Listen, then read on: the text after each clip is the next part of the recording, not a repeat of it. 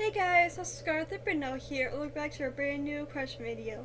So today, yes, I have Ozzy here with me today. So um, yeah, um, just to let you guys know, the weather outside is very, very snowy, which is.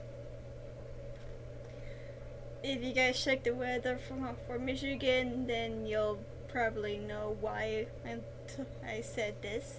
So yeah.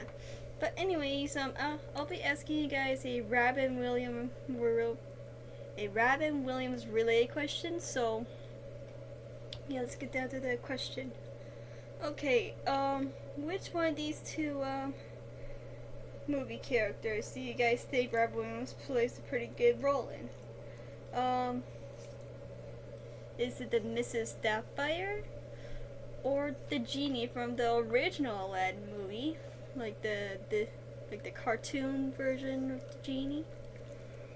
But in case you guys don't know what these two um, movie characters are, then make sure to look them up on Google and tell me which um, which movie character do you guys think Robin Williams plays a, plays pretty good character.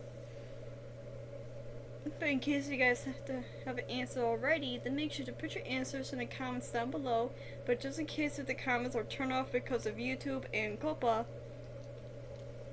as usual, then make sure to go to these four links in the description down below at all times, or go to Discord to answer this question. Now my Discord name will, will always be in the description down below so you guys can friend and chat with me or answer this question however you guys like.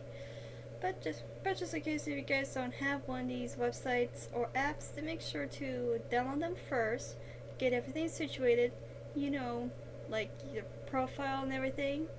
Then you guys can answer this question.